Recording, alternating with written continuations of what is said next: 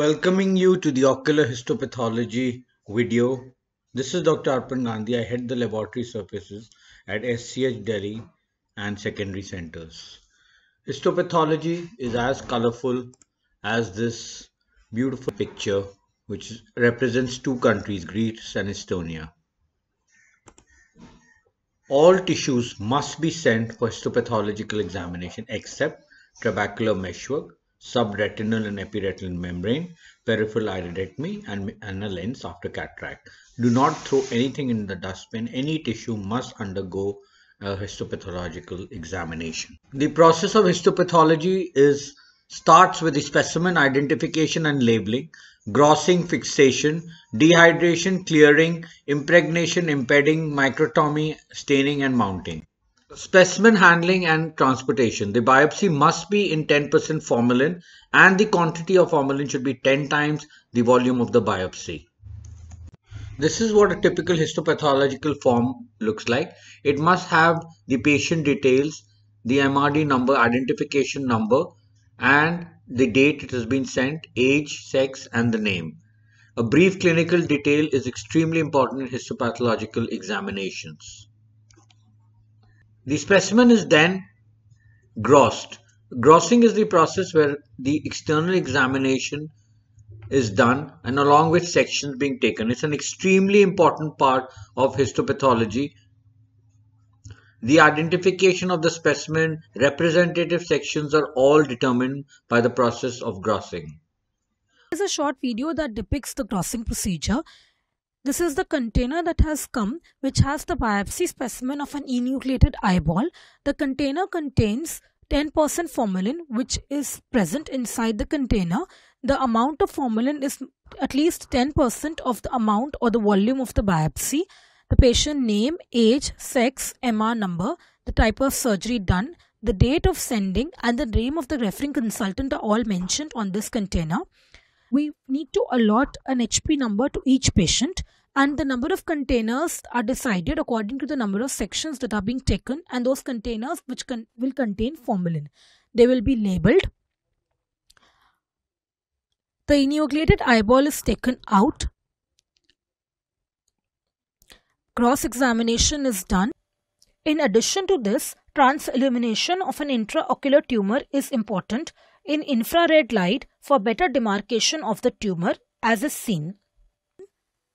The specimen has to be measured in the length, breadth and the height and everything has to be noted. The optic nerve is measured in its length and breadth and noted. Optic nerve section is taken separately. The enucleated eyeball is cut into two equal halves we can note that there is a tumor which is present. The length and the breadth of the tumor need to be noted and the gross features of the tumor are also noted down.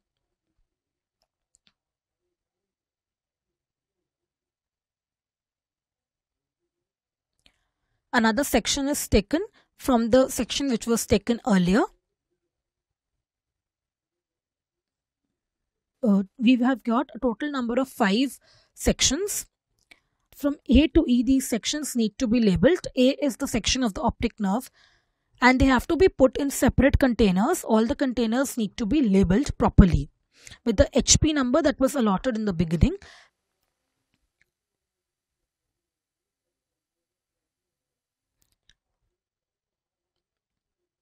Once all such containers are ready, parafilm is used to seal each of these containers these containers need to be sent for further steps of grossing.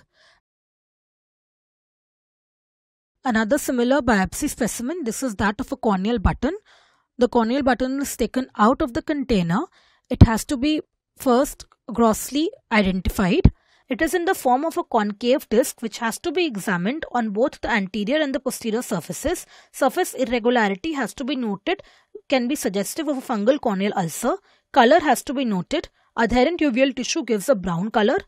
It has to be cut into two equal halves using a slicing motion but not tangentially.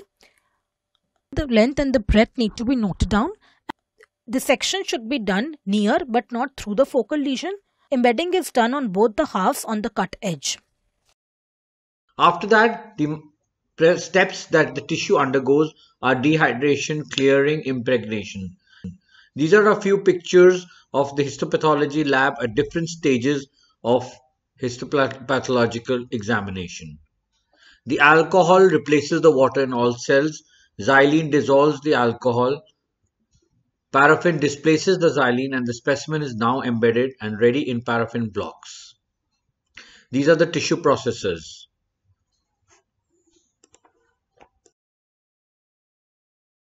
We get to see a fair number of ocular tumors. The commonest is the retinoblastoma, and we sometimes get very advanced cases. The other lesions that we get are sebaceous gland carcinomas, squamous cell carcinomas, lymphomas, OSSNs. We get less number of choroidal melanomas, basal cell carcinomas, and PAMs. These are few of the cases that we'd like you to see the first case is that of a three year old male child who presented with white reflex in the pupillary area in the right eye since five months. It was not associated with any other complaints, no history of trauma or eye infection or similar complaints in the family was there. On the left hand side is the specimen of an enucleated eyeball which had a retinoblastoma. To the right is the histopathological photograph of a case of a retinoblastoma. On histopathology, retinoblastoma cells are seen as medium-sized cells with high nucleocytoplasmic ratio. They stain blue. Necrotic cells appear pink on H&E staining. Calcification has a hint of violet or purple. Rosettes are the grouping patterns which are seen in more differentiated cells. A ring of cells surrounding an empty lumen is known as a Flexner-Wintersteiner rosette. A ring of cell with an eosinophilic fibrillary center is called a Homer-Wright rosette. Florets are retinoblastoma cells that have undergone photoreceptor differentiation and grouped together as a bouquet. 60-year-old female who presented with a painful swelling over her right upper eyelid for the past two years. There had been an increase in the size of the swelling for the past one month, which was associated with pain and redness, there was no evidence of similar lesion elsewhere on the face or body. Regional lymph nodes were not enlarged. On examination, a 15 into 3 mm beaded lesion was noted over the right upper eyelid. There were irregular rolled edges. Violaceous hue was present along with trichiasis and telangiectatic vessels. Histopathology was suggestive of invasive squamous cell carcinoma we can see the invasive squamous cells in the stroma. This is a similar histopathological picture of a high-grade invasive squamous cell carcinoma where keratin pearls can be seen along with severe dysplasia. Next we come to the case of a 45-year-old farmer who presented with a painless nodular swelling below the right medial canthus for the past one year.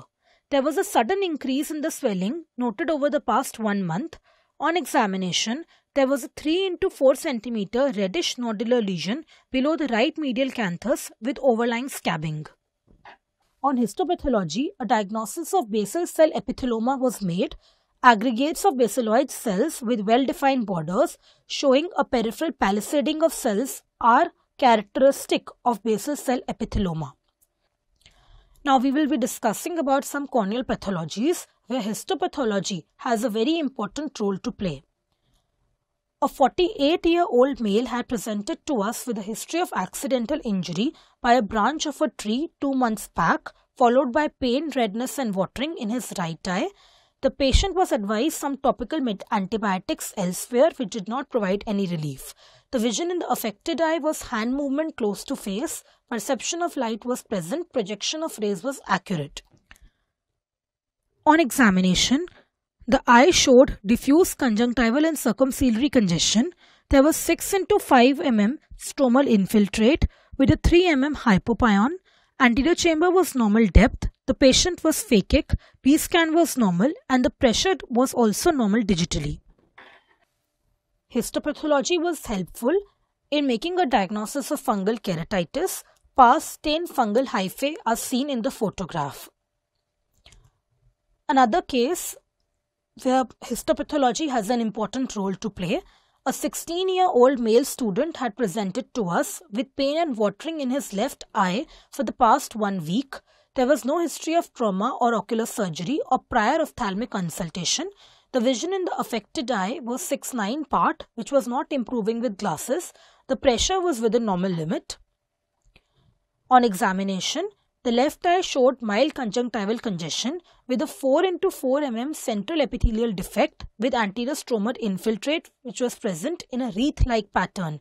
Rest cornea was clear, anterior chamber was normal, the patient was phakic.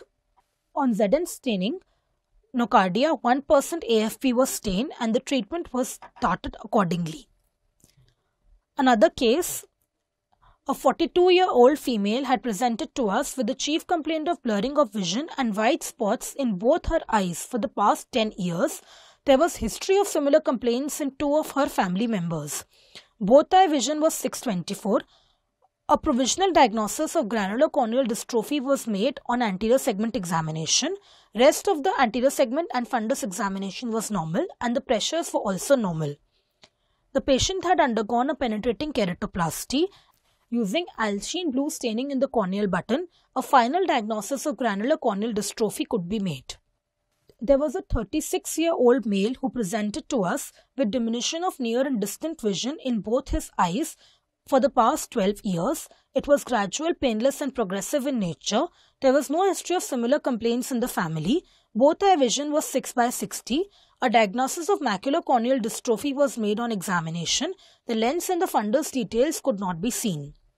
The patient had undergone a penetrating keratoplasty. Using PAS stain in the corneal button, a final diagnosis of macular corneal dystrophy could be made. This is a photograph which depicts the need of immunohistochemistry in the world of ophthalmology. In order to differentiate tumors based on their lineage, CD markers have a very important role to play. There are very specific markers for tumors with muscle differentiation, neural differentiation, vascular cell differentiation, histiocytes, mesenchymal tumors, epithelial tumors, melanin, chondrocytes, and bone, and they help in making a diagnosis. Interpretation of the histopathology is an extremely important component of the report. The report has to have all demographic features like the patient's names, age, sex, referring doctor, when it was sent, and a pathology requisition number. A detailed clinical history along with radiological signs is extremely important. The histopathology report also constitutes a, a very detailed microscopic examination where the tumor is, what the dimensions are, what's the involvement of the tumor, what are the areas which show the tumor, what are the margin involvements, as well as the microscopic detailed description of the nuclear and cytoplasmic features. The impression is an important component and it sums up the microscopic and the gross impression with a note on the final diagnosis and the grading and the staging.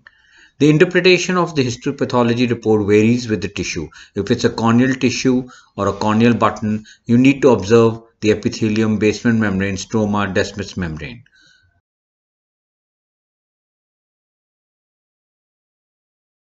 What's the role of a pathologist in ocular oncology?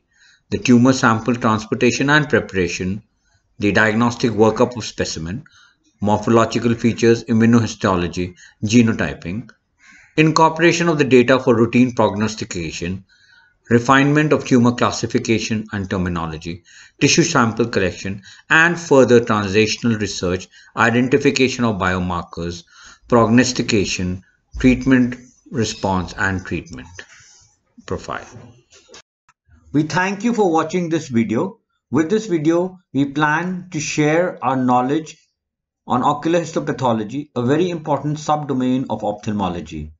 We hope through this video we're able to spread the word of the importance of ocular pathology and its need in the diagnostic field of ophthalmology. Thank you so much.